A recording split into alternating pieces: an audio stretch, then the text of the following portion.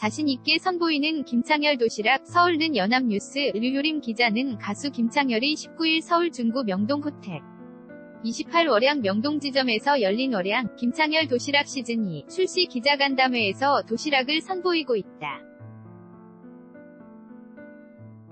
RIOUSANTA 골뱅이 YNA.co.kr 외식기업 어량과 손잡고 김창열 도시락 시즌2 내나 달라진 창렬하다 김창열 도시락 시즌2 서울는 연합뉴스 류효림 기자는 가수 김창열이 19일 서울 중구 명동 호텔 28월량 명동 지점에서 열린 월량 김창열 도시락 시즌2 출시 기자간담회에서 도시락을 선보이고 있다.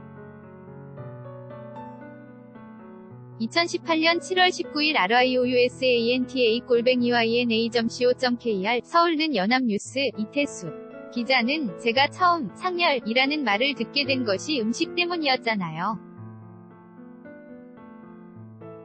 그렇다면 똑같이 음식으로 좋은 모습을 보여드려야겠다고 생각했어요. 음식으로 받은 나쁜 이미지, 음식으로 풀겠습니다. 한때 가요계의 악동이라는 별명을 달고 살던 올해로 데뷔. 25년 차 가수는 광고 한 번 잘못 찍었다가 자신의 이름을 딴 창렬하다 라는 짓궂은 별명에 시달렸다. 맛이 없다, 부실하다 는 뜻의 이 꼬리표에 시달린 터라 식품 사업이라면 하. 을뗄 법도 하지만 아예 자신의 이름을 딴 도시락을 내놓고 명예회복에 나섰다. 바로 그룹 DJ 닭위 김창열 이야기다. 김창열은 19일 오전 서울 중구 명동에서 취재진을 만나 음식으로 받은 창열 이미지를 음식으로 정면 돌파하겠다고 의지를 보였다.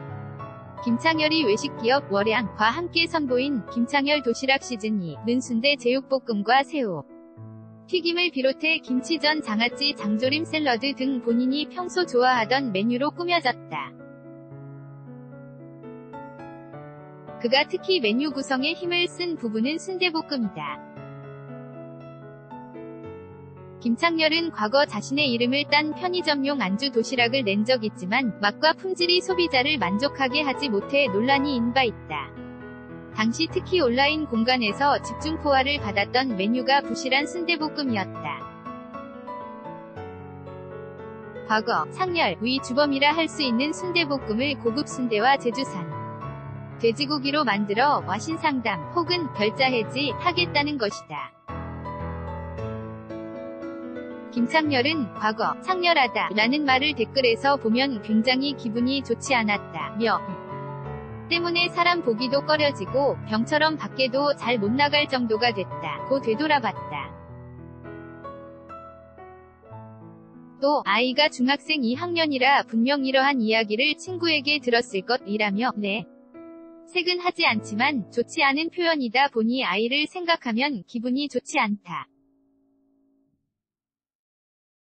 나빴던 것을 좋게 만들어 우리 아이에게도 좋은 표현으로 쓰이게 하고 싶다. 고 말했다. 월양 김창열 도시락 시즌2의 모습은 서울는 연합뉴스 류효림 기자는 19일 서울 중구 명동 호텔 28 월양 명동 지점에서 열린 월양 김창열 도시락 시즌2 출시 기자간담회에서 새 도시락을 선보이고 있다. RIOUSANTA 골뱅이 YNA.co.kr 그러면서 이제는 편하게 생각하기로 했다. 며 아무렇지 않. 게 우리 공연 창렬스럽지 않죠? 라고 이야기하다 보니 지금은 조금 강해졌다. 고 부연했다. 그가 도시락 사업에 다시 도전장을 내게 된 것은 평소 친분이 있던 SBS 이승문 PD 덕이다. 창렬 이미지를 음식으로 정면 돌파하자며 이 PD가 이어 영어량 대표에게 도시락 사업을 제안하고 나선 것이다. 김창열, 신조어, 창렬하다, 좋은 의미가 됐으면 서울는 연합뉴스 류효림 기자는 가수 김창열이 19일 서울 중구 명동 호텔 28월량 명동 지점에서 열린 월량 김창열 도시락 시즌2 출시 기자간담회에서 인사말을 하고 있다.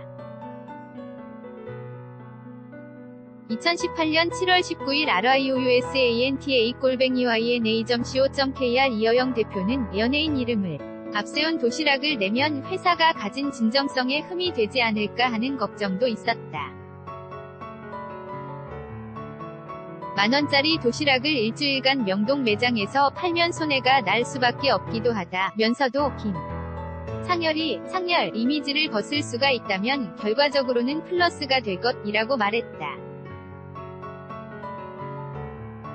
또 김창렬은 10년 전 우리가 홍대 인근에 막걸리집을 차렸을 때부터 자주 와서 응원해주고 모임도 자주 열었다며 상렬하다 라는 말은 시작부터 잘못됐고 우리 사회의 폭력성을 보여준 사례다.